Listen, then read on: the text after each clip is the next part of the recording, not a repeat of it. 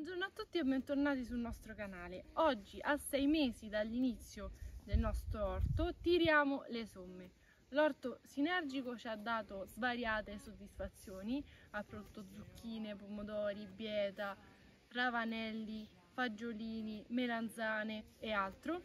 L'orto senza fatica di root stout invece ha un po' stentato. Questo è dipeso probabilmente dal fatto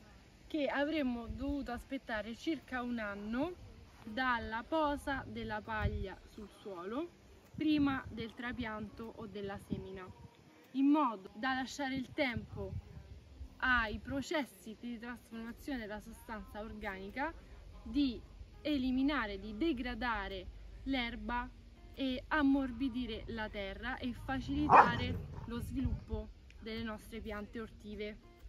Noi non volevamo aspettare, l'orto lo volevamo fare subito. E quindi i nostri semi o le nostre piante si sono ritrovati in una situazione difficile dove c'era una grande competizione di tipo nutrizionale e di tipo proprio spaziale con l'erba già presente eh, in campo. Poiché abbiamo deciso di ingrandirci ma vogliamo mantenere i vantaggi tipici dell'orto di root stout, ma allo stesso tempo vogliamo mettere a dimora o seminare subito e non aspettare il tempo necessario affinché il sistema entri in funzione, abbiamo deciso di fare una lavorazione del suolo prettamente superficiale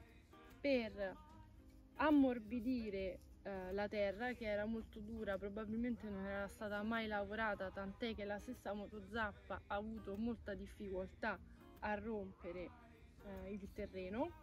Abbiamo approfittato della situazione per interrare una piccola quantità di stallatico e eh, per eh, eliminare il cotico erboso che era molto intricato. È vero che a volte le lavorazioni del suolo possono fare più male che bene perché si rischia la perdita di sostanza organica per mineralizzazione e la perdita del, dei microorganismi che ci sono nel suolo e che sono i principali responsabili della liberazione di molte sostanze che sono fondamentali per la crescita delle piante ma in questo caso noi andremo a ricoprire il terreno di uno spesso strato di eh, paglia, di fieno in questo caso, subito dopo la lavorazione, minimizzando questo processo di mineralizzazione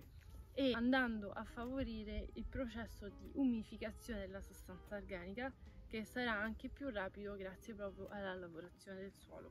Grazie per essere stati con noi, noi vi aggiorneremo sugli sviluppi del nostro nuovo orto quindi mi raccomando iscrivetevi al canale per non perdere nessuno dei nostri prossimi video perché vi daremo tanti consigli utili. A presto ciao